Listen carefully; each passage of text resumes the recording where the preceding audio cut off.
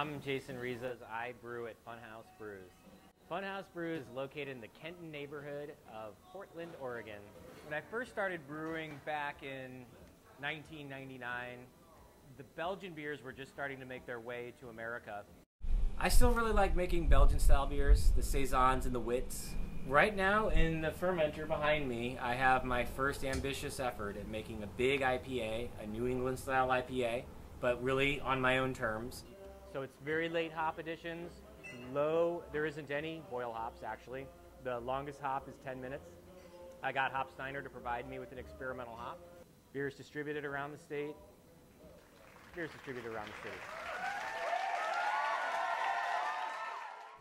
I love experimentation. I love tasting things and learning things and trying things out, and I love that this city allows me to do so. When I make Squirrel Riot Brown, I will toast my own grains in my own oven.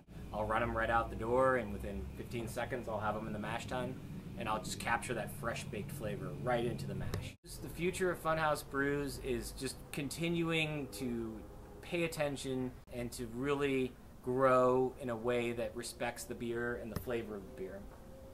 I'm enjoying what I'm doing and I'm enjoying putting the beer first right now.